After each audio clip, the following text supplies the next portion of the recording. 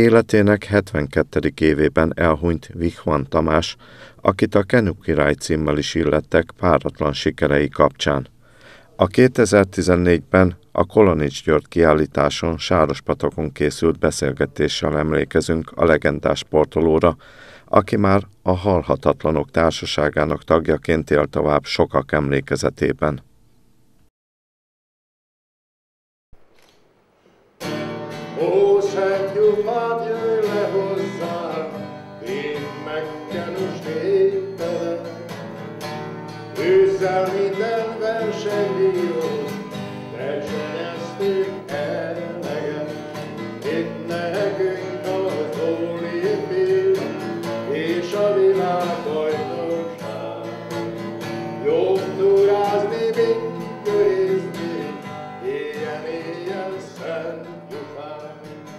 Nem csak a kenulapáttal, hanem a gitárhúrokkal is kiválóan bánik Vikman Tamás, aki méltán érdemelte ki a sportákban a kenu király jelzőt.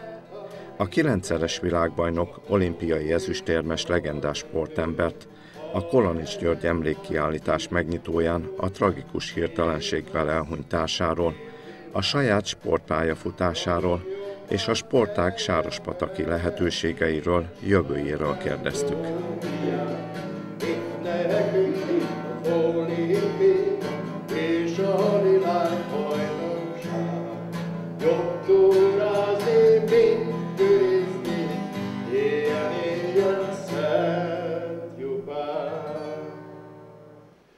Hát Gyurira emlékezni egy rendkívül kellemes dolog, a keserűséggel együtt, hiszen Gyurinak az eredményei magukért beszélnek természetesen egyesben, párosban és négyesben is, Canon négyesben is kimagasló eredményeket ért el. Hát csak például a 95-ös évet emeljem ki, ahol Duisburgban, ahol én is ott voltam látogatóként, szurkolóként a családommal, és hát öt aranyat sikerült nyerni. Hát ez egy szinte elképesztő siker volt. Ugye a magyar csapat összességében tíz aranya zárta azt, hogy 11 -el, nem, most már pontosan nem is tudom, de Pullai Imre nyert ott, és a Kolonics horvát páros, párosban is, meg négyesben is. Hát szinte eufóriás hangulatban voltunk a, a verseny végéig, és eh, hát ott tündökletesen szerepelt Gyuri. Emlékszem, hogy eh, a verseny előtt, ugye, amikor az ember koncentrál, és eh, én is mentem hozzá, és éreztem, hogy a versenyzői nagysággal bír, hogy igazán nem is lehet tanácsot adni, mert olyan, olyan hallatlan figyelem és koncentrációval készült a versenyre, de hát ezen kívül is a többi versennyel is, amivel megörvendeztetett mindannyiunkat. Ugye előttem van, amit tévén néztem, és az olimpiáról volt közvetítés, vagy pedig azt, amit személyesen láthattam akár itt a szegedi világbajnokságok alkalmával, vagy hát eh, más versenyeken, akár szolnokon, vagy hát volt egy idő, amikor e, e, Paks alatt a Fadon volt magyar bajnokság, és azokon a hullámokon senki nem tudott keresztül menni úgy, ahogy a Gyuri. Tehát ennek egy, egy szenzációs technikája volt, és egy olyan vízbiztonsága, amit, amit példátlan, példátlanul tudott megoldani feladatokat. Nagyon-nagyon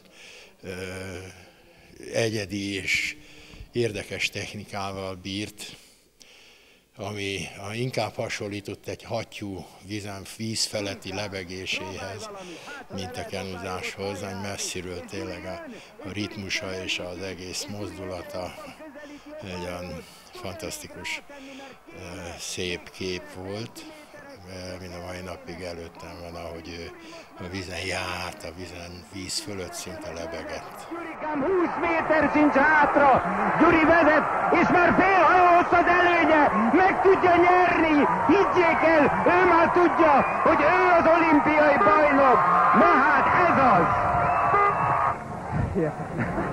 mákom volt ezzel a szélel, azt kell mondjam, de hát azt a helyzetet kell megoldani, ahol éppen vagyunk, úgyhogy ez van. Pár mondattal idézzük fel a te sportpályafutásodat. Mi vitt be a kenu sporthoz? Hát gyerekkoromban volt egy nagyon súlyos autóbalesetem, aminek következtében az én járásom, hát igen, erősen biceboca voltam, hát úgy, hogy focizni élből nem tudtam elmenni semmi olyan más tevékenységet, nem, ami ugye a lábamra terhelést adott volna. Bár évekig jártam ökölvívó edzésekre gyerekkoromban, ami végül is adott egy, egy utat és egy, egy új életet számomra, mm, a rengeteg gimnasztikával, kötelezése, ugrókötéllel és sparingolásokkal, úgyhogy az akkor viselt járógépet sútba dobtam, és végül is Hát ilyen enyhén autodidakta módon sikerült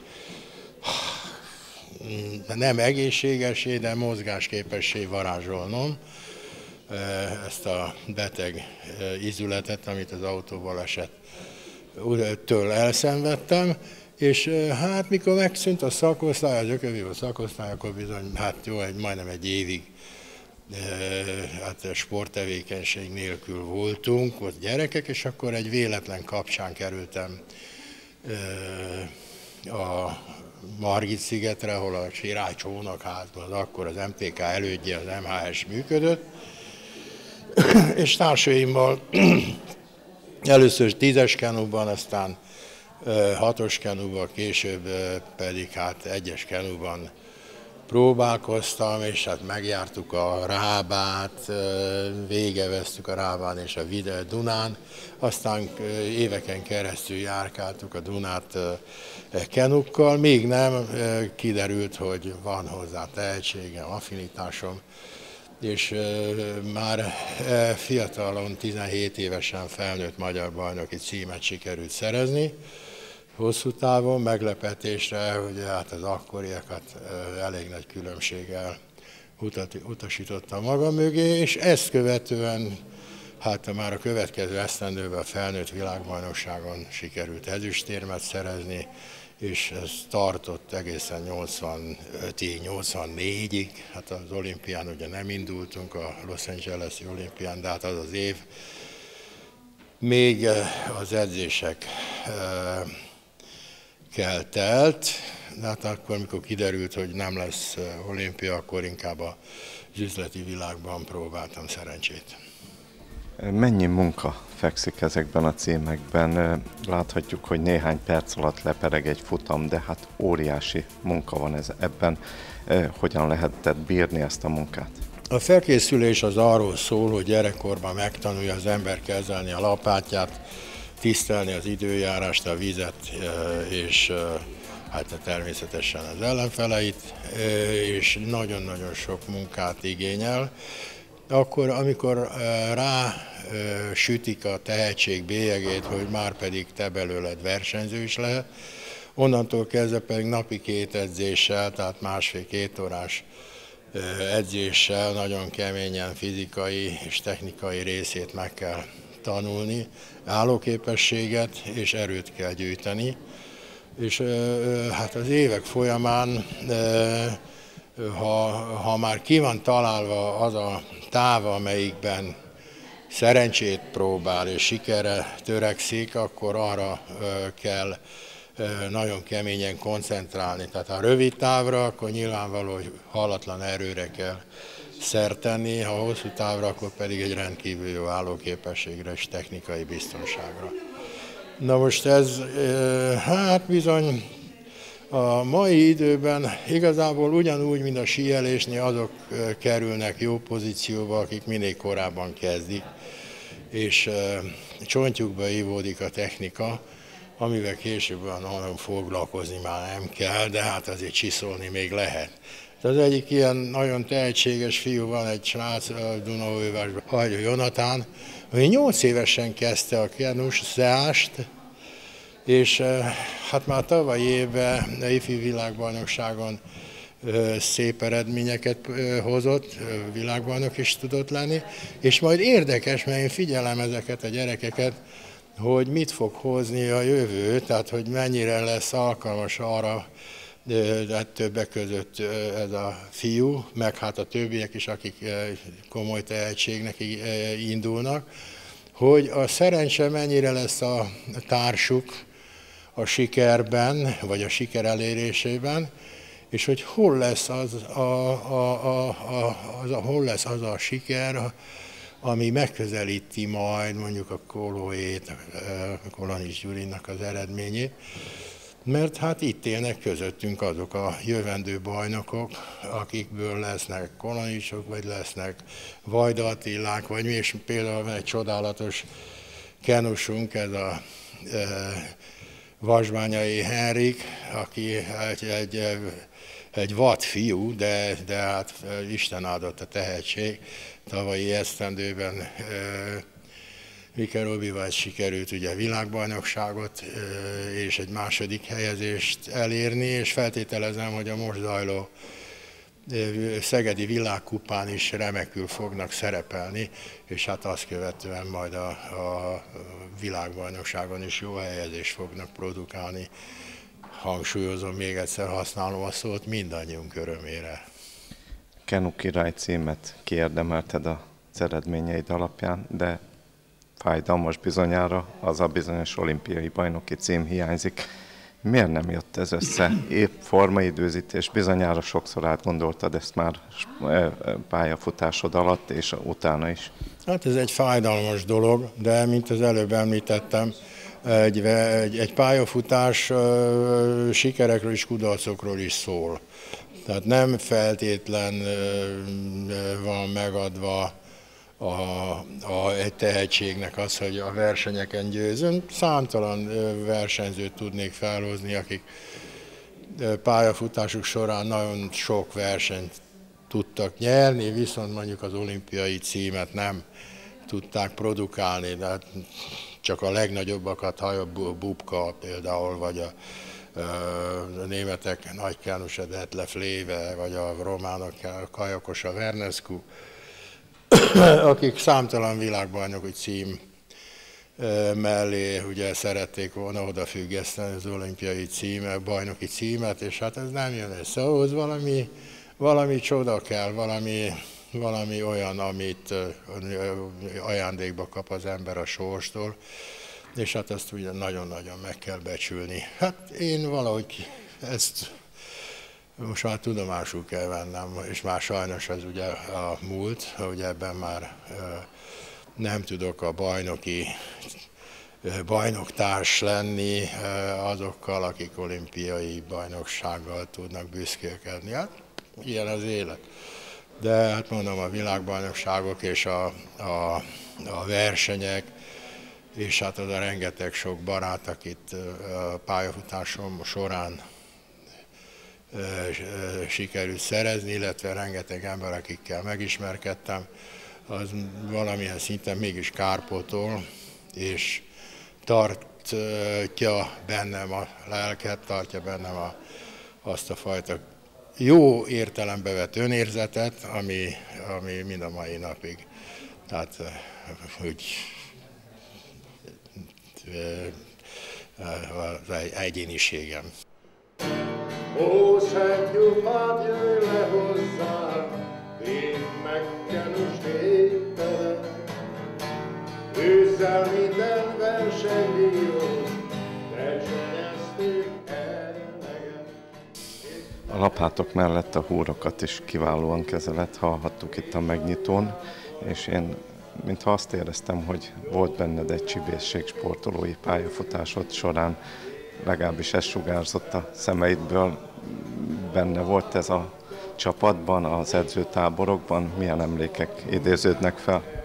Igen, igen, ez, ez, ez jellemző volt ránk kenusokra, mindig is volt egyfajta ö, bohémság, egy, ö, ö, egyfajta életszeretet, a szemléletünk az, az mindig, arról, mindig is arról szólt, hogy hát az egyik csak egy ilyen, hogy Jupát, Jupát, Kenus Jupát, adjál nekünk szép lányokat, spiát. Tehát, hogy, hogy mindig volt egyfajta ilyen vágy arra, hogy a, a, a, a, az élet szebbik oldaláról is kapjunk. És én nekem hála eddig megadatott mind a két oldal, mert hát ugye volt egy autóból esetem, volt számos ö, ö, hát súlyos és sötét dolgom, el, elváltam többször, ugye többek között, és, és volt a másik oldal, amikor rengeteg öröm jutott osztály, osztályrészemről, és hát hála Istennek ez, ez, ez a, hogy mondjam, kiegyensúlyozottabb, a, a, és, és inkább a pozitív oldal felé dől a mérleg nyelve, azzal együtt, hogy hát bizonyos hiányok vannak, ugye többek között az előbb említett olimpiai cím, de hát viszont van más, van fair play díj, van világbajnoki arany, van hazai elismertség, van, voltam nem évsportolója, és hát millió egy más, ugye többek között ez a életkedv, a gitározással, az énekléssel, vagy a főzés, ami szintén ugye a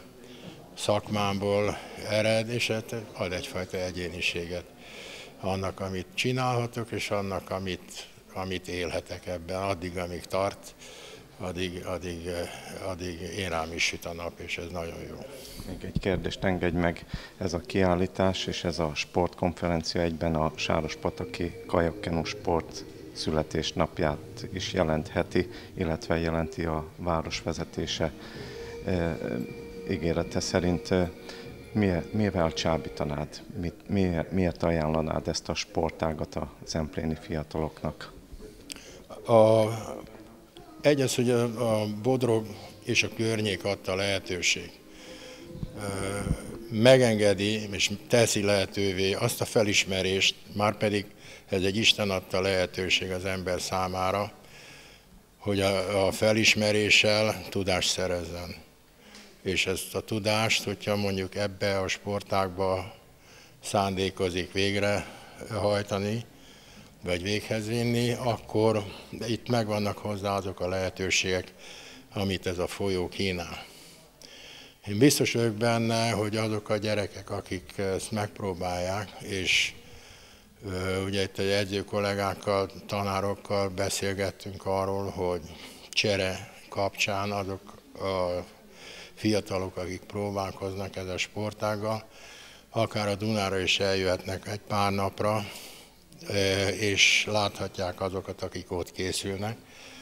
Fölvehetik velük a versenyt, föl, megtanulhatják azokat a trükköket, amik már a, a gyakorlottabbak kidolgoztak, és nem kell vele külön megszenvedni. És ha visszajönnek, akkor gyakorlatilag olyan, mint aki megtanult a gitáron néhány akkordot, és ebből a néhány akkordból már egy egész koncertet lehet majd később varázsolni. Nagyon bízom abban, hogy lesz olyan tehetség, aki egy kicsit élen jár majd, és az élenjárás az ugyanaz volt, mint amit a kolonit csinált, vagy hát szerint személyem, hogy arra lehetett építeni, arra stabilan, hogy ő a legjobb, ő a leggyorsabb, akkor kövessük. És lehet azt is, hogy hogy csinálja, mint csinálja, hogy lekövessük, megtanuljuk tőle azokat a trükköket, azokat a mozdulatokat, és bízom benne, hogy lesz itt is, a Bodrogon, olyan jó képességű fiatal, aki csillagként viszi majd tovább ezt a nemes sportágat, és sikerrel fog tudni szerepelni.